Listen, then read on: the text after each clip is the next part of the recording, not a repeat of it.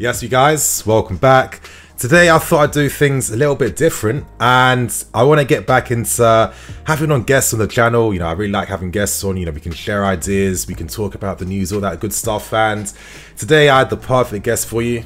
Of course, Dan McCarthy, you guys know Dan McCarthy and Simon Phillips have been running some, you know, amazing news stories behind the scenes and giving us a great scoop on socials too. So I only felt right that today when we discuss what the latest news is surrounding our, our transfer window the state of our current window now, now that we know that Hakimi is looking like he won't be signing for us, what's going to be happening now? So, Dan, man, great to have you on. If you introduce yourself to the people. Yeah, appreciate it, buddy. Good to come on. Uh, yeah, just Dan McCarthy. Find me on Twitter at Maccasport, and then obviously with, with Simon over at Si and Dan Talk CFC. Yeah, just out there doing some Chelsea bits. It's a pleasure to be on, my friend.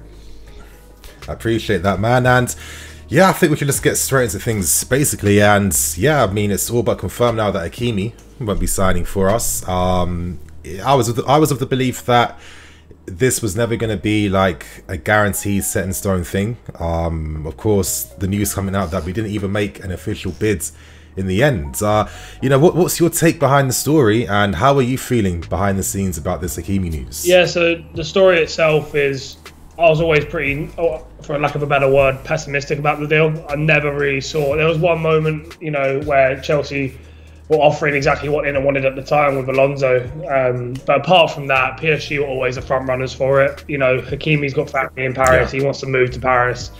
They're offering. They've got more money to spend. Well, maybe not more, but they're more willing to spend it than maybe we are. Yeah. Um, so yeah, I was always, I was never that excited about Hakimi, and then just from what I was hearing, I was always being told that PSG are always going to be around. They're always going to be knocking on the door. So, yeah, I was always pretty, you know, I was never too excited about it. As a fan, you know, I don't think we should be spending 70 million on a right wing back anyway. So, uh, he's a great player, right? And you know, if we get him, if we didn't get him, then do we even need to get a right wing back? I'm sure we'll talk about that in a minute. But yeah, you know, yeah. I, I, mean, he's a great player. I would love to have seen him there, but for for the 70 million, and do we really need him? Probably not. I think we need other areas more importantly. Yeah, I agree with that, and it kind of felt like this is more of like an opportunistic thing. Um, you know, Alonso plus fifty-five million. That's like an offer. It's like okay, you know what? If they take it, we're good to go. If not, then it is what it is. So uh, you know, Paris Saint Germain. Their interest has been a lot stronger. Of course, they've been making bid after bids, uh, you know, increasing their offers as well. And, you know, Hakimi, a French speaking guy, with his family too. It always felt like Paris makes more sense, to be honest. So uh, yeah, I feel like um, I'm with you. Spending that type of money on the wing back when I saw Victor Moses lift the Premier League title playing right wing back all season after getting barely any like game time, you know, training for that position. Uh, how do you feel about the wing back position and role in general? Uh, yeah, I think um, obviously I know there's a lot of debate right about Reece James and then Callum Hudson-Odoi and you know and now people are going to be start kicking off now right about Adama Traore uh, with the links to him. Um, you know I think we're suitable. I think we're fine. I think we can do a job there with, with the players we already have right now. Like you say, Victor Moses, we moved him there. Obviously that's just unbelievable coaching by Antonio Conte, right? But yeah. Tuchel's definitely got that in his locker. He's tactically fantastic. So I think we're fine. Um, what you know what I would say is you know, I think the reason we are going for a right wing back is because perhaps Tuchel doesn't see Callum Hudson-Odoi as a long-term answer there. I think it was an experiment. I think yeah. he's maybe tried him there, but does he see him there long-term next year? Perhaps not. I think maybe he might push him back up the field. So that's maybe the reason, uh, a big reason why we are looking at a right wing back. Also, Azpilicueta's aging. Is Livramento ready yet? Not sure.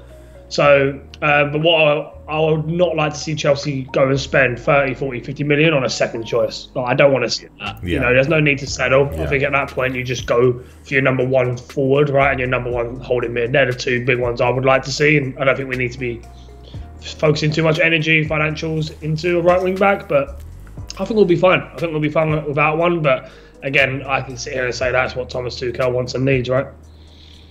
Yeah, of course, of course. Um, you know, it always felt like maybe wing back, looking for positions in that area. It wasn't the main focus. We know the main focus is signing a defender, a midfielder, and a striker. So now, if we just move on to discuss the rest of these positions, you know, uh, where are we exactly in the window in regards to, uh, you know, starting the moves, starting the discussions to, you know, get these positions signed? Yeah, so Chelsea, I've spent a lot of time in the last few weeks looking more at outgoings than anything. They're working hard to get you know outgoings happening because they know they need money. Um, they need money, but they also need the squad to decrease. Right? They need to get rid of the deadwood, as Yeah. we all say. So they focus a lot of energy on that in the recent weeks.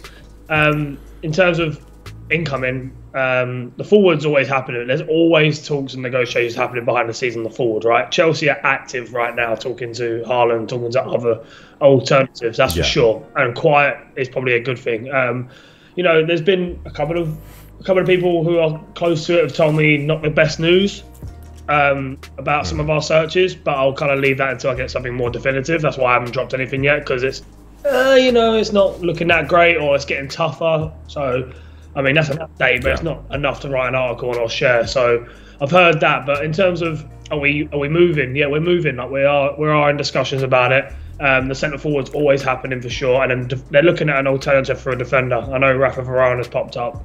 Um, which obviously similar to Hakimi, it's more like a flirtation process than anything. You know, it's not a definitive Yeah. pursuit of that. They're just, you know, we'll look at it. And Chelsea are always, you know, oh, we'll look at it. Yeah, do we need that? Maybe potentially. So, uh, and I know the DM is going to come up probably later in the uh, in the window, maybe up. near the ends. Yeah, that makes a ton of sense. Um, of course, the candidates Rise Lomeni. Any other surprise ones you're hearing about? Uh, so there's always Boubacar. Is it uh, Kamara? Kamara from Yeah, Marseille. Kamara has always yeah. been someone that's kind of, oh, you know, keep an eye on that because he's got the ability to play both positions, right centre back and, and, and holding mid. Um, Tuchel likes him, we know that for sure. We're looking in that area. France is a very heavily scouted area for Chelsea. Um, so he's always someone we've been told to keep an eye on. Um, but again, there's been no moves on that. That's I think that would be a pretty easy deal to do. You know, in the respect of if Chelsea wanted him, Chelsea would drop the money and be able to afford him pretty easily, right? So I don't think there's too much Yeah. heavy negotiations into that one. Obviously, a harder deal would be Tchouaméni, or more even tougher would be Declan Rice, right? So um, the club likes Declan, the club likes Tuchel likes him, but that is just such a, as I've said so many times for like a year now, such an impossible. Bloody hell, West Ham are going to be so difficult just letting them go. And I mean, it, it, it, all it's waiting for right now for that Rice move is just for a bid to be made. If we make that official, I feel like Declan can maybe take things on his own end and then we'll see what happens. But, um, you know, West Ham have been giving us a, a, a valuation that's realistic, like to even work with. Yeah, so I would say I would just jump in there and say that um, Declan has a lot of respect and time and affiliation for the club. So it, for those who are thinking he's going to put in a transfer request or push the move, I wouldn't expect too much from that. To be Yeah. honest, I think it's he's very much, you know, he has obviously has a dream. He obviously loves Chelsea and he wants to play at the highest level. That's everyone knows that, Yeah. right? But he does. You know, he is excited by the West Ham project. He's obviously the captain there now, pretty much. They're in Europe next year. So, you know, whilst he would love a move and he would love love that to happen, he's also fully aware that, you know, he has a responsibility at West Ham and he's he's Yeah. not the kind of guy to, to, to push a transfer move or, you know, to force it. So, but again, he has a dream, right? It just needs Chelsea to put a bid in.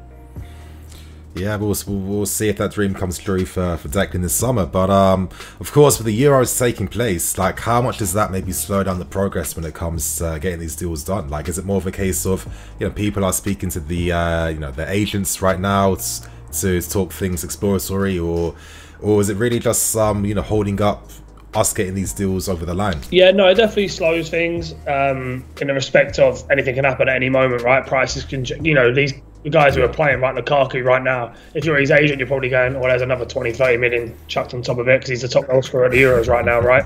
So Yeah, yeah, you're yeah. playing with agents who are very, very smart. Their job is to get the most for their player right and the most for their club. So yeah, no, that it definitely slows and makes the process a bit harder. It can also go the other way, right? In terms of if they're struggling, you know, there's been jokes, right, that Guardiola and City put in that bid now because Harry Kane's not ex- not exactly exploding, so they put putting a bid now. Yeah. So uh, I don't know how much truth there is in that, but you know, the Euros definitely slows things. It makes things a little bit more complicated because the player is away.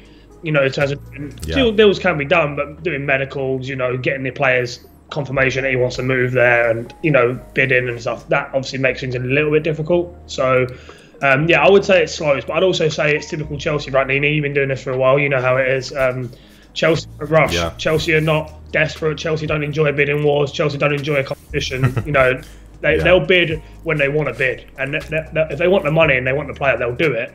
But they're also very you know they're calm, they're very relaxed, they like to do things at the last minute kind of thing. So unless a deal comes up, which is avoid, you know, you can't avoid it, which is like a Havertz, right? We had to get him Yeah, yeah. So I know a lot of people are saying that about Erling Haaland right now, but that you know Havertz's transfer was very difficult in terms of all the financials. Haaland's on another level. So you know I know people are saying, oh. Villa are signing people, you know, Norwich are signing people, but yeah, they're signing Buendia, who's a fantastic player, no disrespect, right? But Yeah. that deal is so easy to do compared to Erling. Haaland or Declan Rice, you know. So we've got to take that into account. Yeah, exactly. And, you know, of course, with Chelsea Football Club, you're not going to be looking at players like that, even though they're, they're great players in their own right. You know, we're, we're trying to get the very best as it's been reported for for a very long time now. So, um, you know, of course, just to end things and wrap things up, realistically, based on the tidbits you're hearing behind the scenes, concrete things you're hearing behind the scenes, and, you know, just with how the window is starting to shape up, who are maybe the three, even four players that you realistically feel you could see playing for us for next season? Wow. Um, A bit of a hard one, I know. Yeah, no. I, I've, I, what I will say is Haaland is still being talked about. You know, I wouldn't. I've I've always maintained don't rule out Lukaku 100. percent Yeah, Yeah. too early to do that. Unlikely, but too early to rule that out. Obviously, the two Yeah. DMs and the, and Kamara I mentioned. Keep your eye on those. All of them. You know, Uh, the, the Declan Rice pursuit is not dead, but it's such a hard deal. Hard deal to do, right? Yeah. Uh, I don't know how much how serious how serious serious interest is in in Tchouaméni right now. I know there's obviously interest, but I don't know how serious that Yeah. is of yet. Yeah. Um, in terms of the centre backs, a really hard one to predict because it only seems to be Varane and Sule that I've really heard on. But Chelsea's Mm-hmm. interest in Sule is pretty much dead at this point, and then Varane is very much of the opinion of maybe looking at a PSG, City, or United. So Mm-hmm. I think you're going to see Nini. I think you're going to see a couple more names pop up out of nowhere that maybe we haven't Yeah. heard too much on. I haven't heard too much on. Um, but I will definitely keep my eye on the two centre forwards and Haaland, Lukaku, and then the two holding mids, Rice, Tchouaméni. They're the, they're the four names that are very prevalent right now. I know there's been links to Jack Grealish, but I really don't see that happening at all. Um, Yeah. So I would say them Yeah. four are the biggest names you want to look at, uh, and I'm sure there'll be one or two more that will pop up late in the window, maybe because we can't get one of those three or four. And then Chelsea got someone Yeah. in their scouting network, which is extremely extensive, who will pop up at the end, you know.